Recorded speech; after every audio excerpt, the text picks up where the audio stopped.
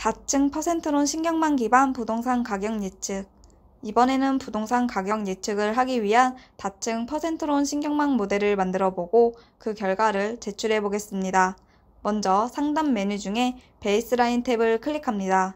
대회 참가 동의, 여부창이 띄어지면 동의함 버튼을 클릭한 후 다시 베이스라인 탭을 클릭합니다.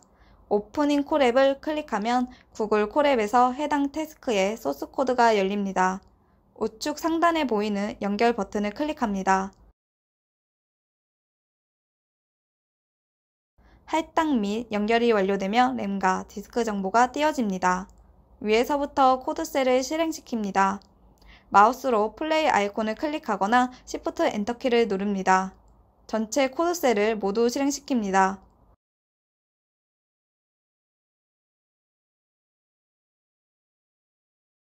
부동산 속성 데이터 및 가격이 담겨있는 훈련셋을 다층 퍼셉트론 신경망 모델에 학습시킨 뒤 실험셋으로 테스트를 해보는 것입니다.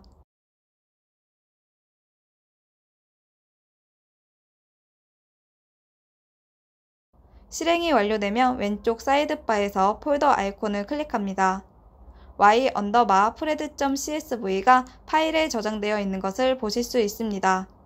Y 언더바 pred.csv 파일을 클릭하면 오른쪽 창에 파일 내용을 확인할 수 있습니다. 모델이 예측한 부동산 가격 정보가 기록되어 있습니다. 파일 이름에 마우스로 올리면 오른쪽 점 3개가 보이고 여기를 클릭하면 팝업 메뉴가 띄어집니다. 다운로드를 클릭하면 파일을 다운로드 받을 수 있습니다. 크롬 브라우저에 뒤로 가기 버튼을 클릭하거나 주소를 입력해서 다시 AF 플랫폼으로 이동합니다. 상단 메뉴 중에 제출하기 탭을 클릭합니다. 제출하기에 있는 브라우저 버튼을 클릭하여 좀 전에 다운로드 받은 y 언더바 pred.csv 파일을 선택합니다. 파일이 등록되면 업로드 버튼을 클릭합니다. 제출이 완료되면 팝업 창이 띄어집니다. 확인 버튼을 눌러서 창을 닫습니다. 새로 고침을 하면 방금 제출한 결과에 대한 점수를 확인할 수 있습니다. 점수판을 클릭하면 모든 참가자들의 점수를 확인할 수 있습니다. 자신의 닉네임이 점수판에서 확인되었으면 태스크가 완료된 것입니다.